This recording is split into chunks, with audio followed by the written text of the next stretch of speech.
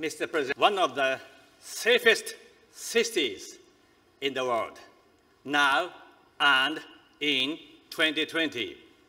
Some may have concerns about Fukushima. Let me assure you, the situation is under control.